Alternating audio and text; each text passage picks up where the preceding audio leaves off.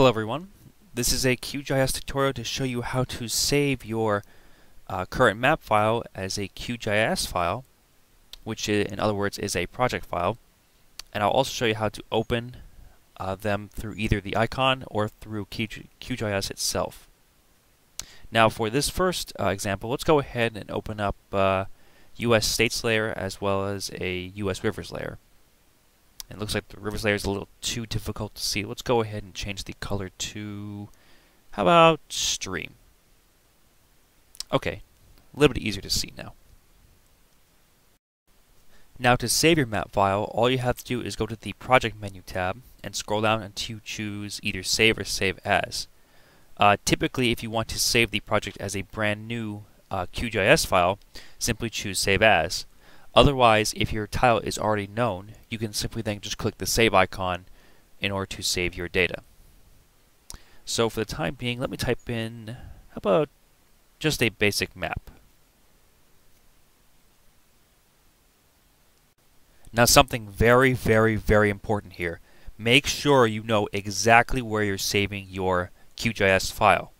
Sometimes if you don't specify it, the file is actually saved within a main QGIS directory folder, which can be typically uh, found through your uh, local disk hard drive.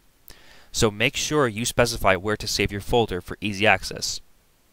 As you probably saw, I chose to save my data within my US data folder, and it also appeared in its correct uh, location.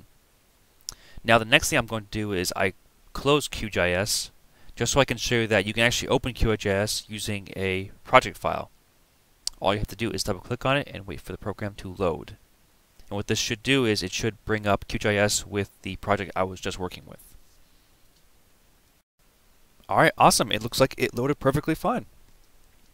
Now, let's go ahead to make this map a little more complex. I'm going to change the state's color scheme to a graduated color to reflect population per square mile. And what I'm also going to do is add in a couple more layers too, such as cities and lakes. Now, something very important to note, if you ever decide to send one of your friends your project file saying, hey man, come check this thing out, this looks so cool, uh, don't send them just the project file. If you do that, and they try to open it on their end, all it's going to appear on their end is just a blank screen, since no data is actually attached to the project file. You'll need to zip up uh, the project file along with its respective data and share it with your friends so this way they can actually see what you're talking about. Alright, I think we'll go with, uh, let's see, let's, go with a nice uh, orange to red color scheme along with six classes and at natural breaks.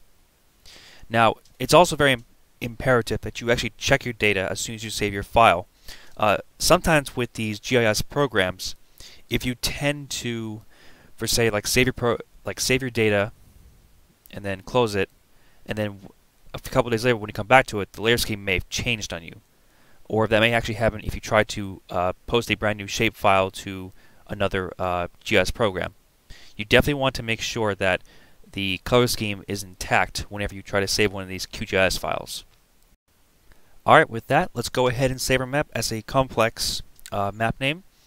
And we're also making sure that we're saving in the same location as the previous map project. So let me go ahead and, and check. Wait a second here. It's not here. What? How can this be? I, I just clicked saved.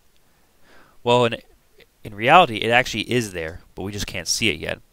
It's because this this project in particular has so many layers and so much data associated with it, it does not actually appear right away.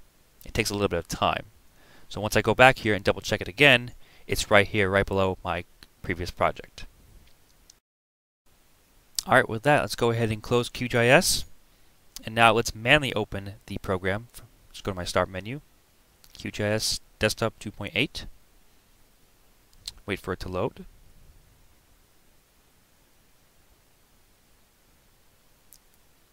And here's the main interface again. Now, now in order to open a project, we go to uh, Project, then Open or you can click the little open folder icon uh, right below the menu. And let's double click on our project map, or complex map, and it looks like it loaded successfully. This concludes this tutorial. Thanks so much for watching.